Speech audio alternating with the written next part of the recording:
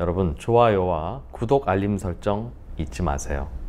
네, 한투증권 이영업부의 박지영 차장님과 함께 오늘 주식시장도 좀 살펴보겠습니다. 우리 시장 별로 안 좋았는데 특히 오후 들어서 조금 하락폭을 키우면서 마감했던 것 같아요. 어서 오십시오. 네, 안녕하십니까. 그랬죠. 어, 요새 시장은 10시가 중요하고요. 10시? 10시. 아, 확진자? 네, 맞습니다. 네. 9시 반부터 요새는 막 사이트들 막 찾아요. 개인 투자자들이 네. 확진자 좀 더 빨리 나오는. 그러니까 확진자가 많이 나오면 장안 좋고 네, 적으면 200명대면 오르고 네. 400명에 가까우면 안 좋고 맞습니다. 그거 세더군요. 근데 그 숫자가 맞아요. 어, 세더군요. 그걸 찾아다닙니다. 투자자들이. 그래서 9시 반부터 움직이기 시작해요. 그거 질본에 아는 사람 있으면 그냥 찍어올 수 있는 거 아니에요? 전날 집계도 되는 것 같고. 저는 아는 사람이 없어서 그건 잘 모르겠고. 아이, 어찌 뭐 세상에 한 다리만 건너면 다 알아요. 12시, 그러니까 정오에 나오는 사이트도 있다라고 하고요. 네. 어떤 시청 홈페이지에 들어가면 조금 더 빨리 집계가 되는 네. 뭐 그런 쪽도 있고 해서 그거 내일 알려 주세요. 알겠습니다. 정리를 좀 해오도록 하고요. 어, 증시에 영향을 주는 거라면 우리 그럼 저 시청자들께 좀 부탁을 드려볼까요? 혹시 그런 사이트 아시면 네. 저희 실시간 채팅창에서 같이 공유해 보죠. 네. 누구나 다 아는 정보여야지 에, 또 시장이 투명해지고 공정한 거래가 되지 않겠습니까? 아. 일부만 안다면 그건 또 3프로 TV가 무찔러야 하는 음. 3프로 TV가 존재하는 여러 이유 중에 하나가 어, 2% 일자리 때문이 아니라 그 것도 중요합니다만 어, 누구는 먼저 알고 누구는 나중 알고 하는 걸 최대한 좀 줄여보자 하는 용, 이유도 있잖아요. 음. 광고를 하려고 했던 건 아니었는데 또 이야기가 그렇게 흐르는 바람에 네.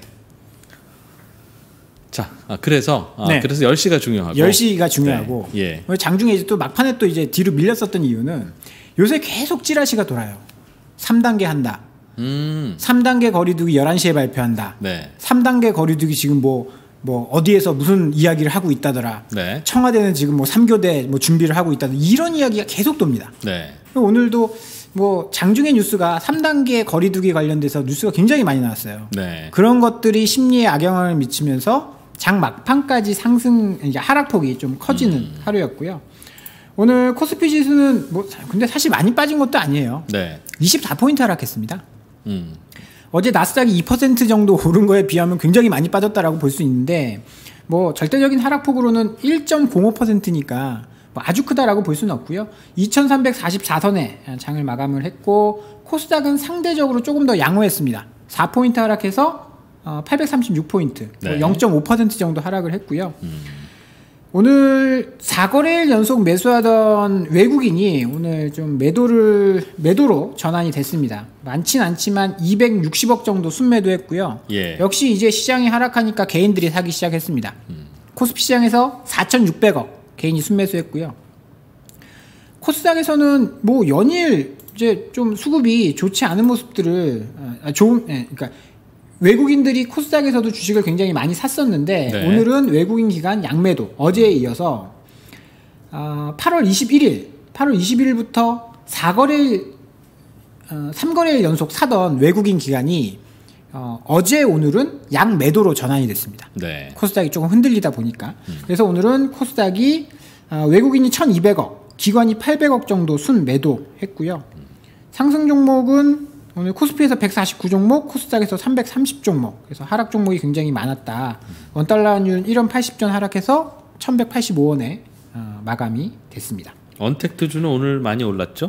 오늘 언택트 주만 많이 올랐- 언택트주만 많이 올랐어요. 네, 전반적으로 하락을 했는데 뭐그 우리가 이제 3월 달에 이제 겨- 이제 어, 그 학교도 못 가고 네. 재택근무하고 이럴 때 막 급등했었던 종목들이 오늘 굉장히 또 큰 폭으로 상승을 했거든요.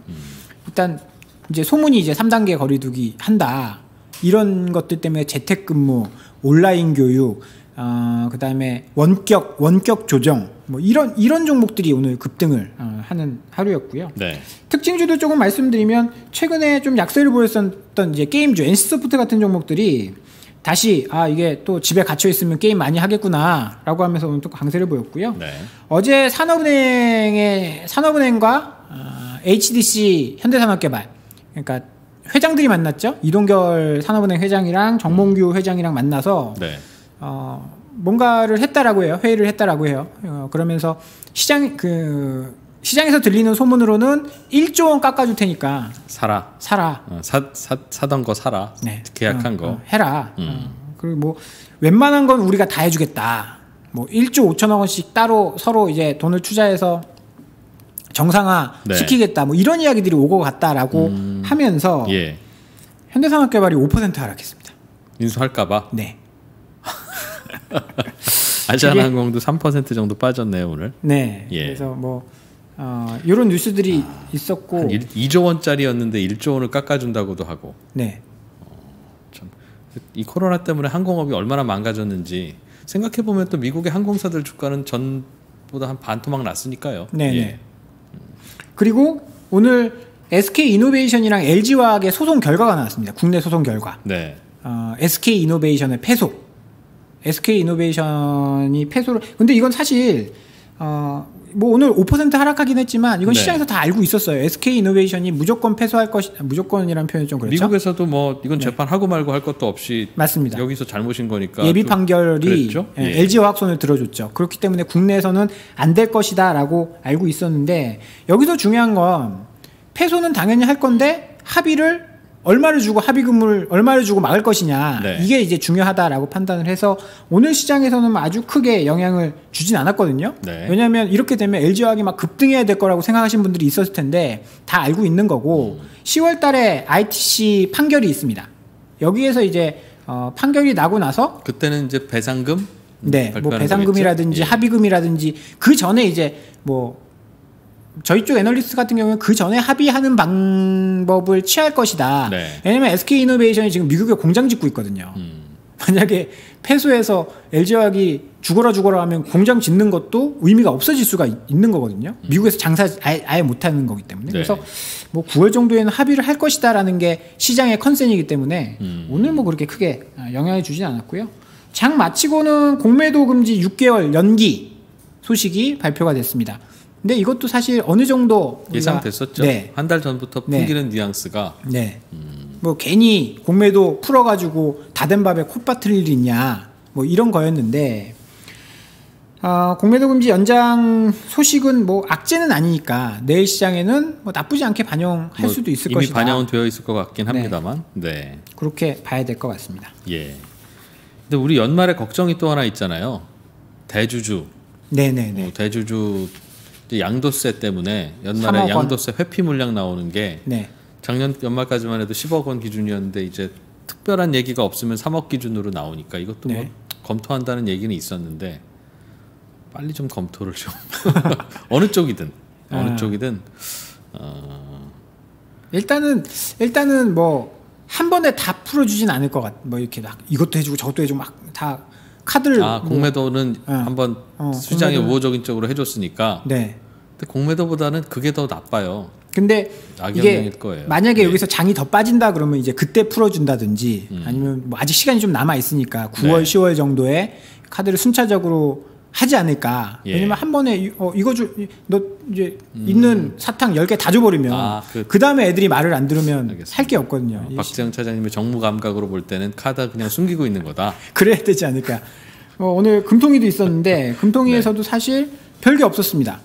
어, 금통위 오늘 어떻게 보면 중요한 통화 정책인데 어, 엊그저께 기재위 보고가 있었어요. 예. 이주열 총재가 예. 거기서 대부분 힌트가 다 나왔거든요. 뭐 물가 에, GDP 성장률 마이너스 1% 정도 될 것 같아요라는 이야기도 했었고 네. 완화적인 통화 정책 계속 해야 된다. 거의 그대로 나왔습니다. 오늘 기준금리 0.5% 동결했고요. 이제 통화 정책 방향문을 보면 세계 경기는 위축 이 완화되고 있는 모습을 보이고 있다. 네. 뭐 각국의 뭐 PMI나 이런 것들이 뭐 좋게 나오고 있지 않습니까? 어, 하지만 이제 향후 코로나19 확산 이제 에 따라서 어떻게 될지 여부가 결정될 거고 국내 경기는 국내 경제는 부진하다라고 발표를 했습니다. 네. 어, 수출은 개선되고 있는데 고용이 여전히 감소하고 있고 그다음에 내수도 회복되는 속도가 좀 둔화됐다. 그러면서 GDP 성장률을 5월 달에 마이너스 0.2였는데 이거를 마이너스 1.3으로 연 마이너스 1.3% 역성장으로 네. 어, 수정을 했고요. 소비자 물가 상승률은 뭐 0% 초반대 어, 이렇게 어, 할, 그 상승할 것으로 보고 있고 금융시장은 대체적으로 안정되어 있다. 이렇게 평가를 했습니다. 그래서 마지막으로 결론은 통화 정책 완화 기조는 계속 유지를 하겠다. 금리 올리지는 않겠는데 네. 내리는 건 좀 검토 좀 해볼게 그런 뉘앙스. 근데 경기는 많이 안 좋습니다. 네. 그런 거죠. 예. 금융시장 안정돼 있으니까 아직까지는 좀 기다려 보겠다라는 뉘앙스인 것 같고요. 잭슨홀 미팅을 보고 뭐 결정하겠다라고 이야기를 하더라고요. 금리를요? 통화 정책을. 아 통화 정책을. 네. 미국이랑 보조를 맞추겠다라는 이야기인 것 같습니다. 그 미국도 뭐 금리 건드릴 게 좀 있을까는 모르겠어요. 음, 아무튼 잭슨홀 미팅에서는 어떤 게 이슈가 될지는 또 저희가 잠시 후에 김효진 연구위원 모시고 들을 거니까 박찬님도 특별하게 바쁜 거 없으시면 같이 듣고 가실까요? 그, 그, 그, 그럴까요? 네. 또 어떤 거 지표 또 나온 게 있습니까? 아, 뭐 이거는 이제 8월에 국내 심리 지표들 네. 발표되는 게 있었는데 아, 사실 큰 의미는 없습니다. 왜냐면 여기서 이제 조사 기간이 8월 11일부터 14일이거든요. 딱 우리가 이제 광화문 집회 있기 이전까지의 조사기 때문에 아, 예. 확산되기 이전까지의 조사기 때문에 의미가 없긴 한데 네. 일단 이것만 가지고 분석을 해보면 8월에 소비자 심리 지수가 발표가 됐는데 전월 대비해서 4포인트가 상승했습니다. 88이 나왔는데 네. 4개월 연속 상승하고 있어요. 이게 왜뭐 코로나 확산이 반영이 안 됐기 때문에 9월 달엔 좀 안 좋아질 것으로 예상을 많이들 하고 있습니다. 아, 그 이유는 3월에 대구의 소매 판매를 보면 알 수 있거든요. 대구가 이제 2월부터 확진자가 확 늘어났지 않습니까? 네. 그래서 소매 판매가 어, 3월 달에 서울 경기 지역은 뭐 소폭이나 보합이거나 상승했었는데 가게문 다 열고 사람들 다녔으니까. 그쵸. 근데 예. 대구는 아주 박살이 났습니다. 가게문 닫고 사람들 안 다녔으니까. 네, 그래서 아마 서울 경기권도 9월 달에 그럴 가능성이 있다. 음. 그런데 문제는 뭐냐?